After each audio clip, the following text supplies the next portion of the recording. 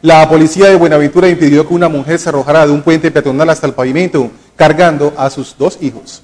Problemas sentimentales habrían llevado a una mujer de 23 años a intentar quitarse la vida cuando quiso lanzarse desde el puente peatonal ubicado en la avenida Simón Bolívar frente al hospital departamental. Lo más grave es que lo iba a hacer con sus dos hijos de 9 y 1 año de edad. Quienes se percataron dieron aviso a las autoridades. Una patrulla de la policía evitó que hiciera efectivo su propósito. Pues gracias a la oportuna reacción y a las llamadas recibidas al 123, la policía logra frustrar eh, el suicidio de, de esta señora con los dos menores de edad aquí desde el puente. Una vez los uniformados convencieron a la mujer de desistir de su intento, la trasladaron al Instituto Colombiano de Bienestar Familiar, donde ahora permanecen los menores de edad y ella con ayuda psicológica.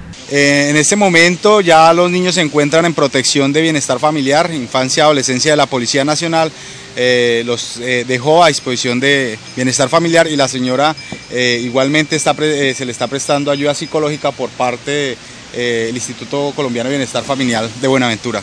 Una vez conocido el caso, las autoridades encargadas de velar por los derechos del niño asumieron las acciones pertinentes que en menos de una semana arrojará resultados y se conocerá si la madre pierde la patria potestad.